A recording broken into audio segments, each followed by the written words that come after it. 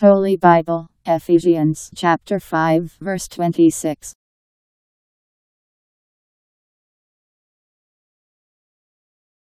So that he might make it holy, having made it clean with the washing of water by the word,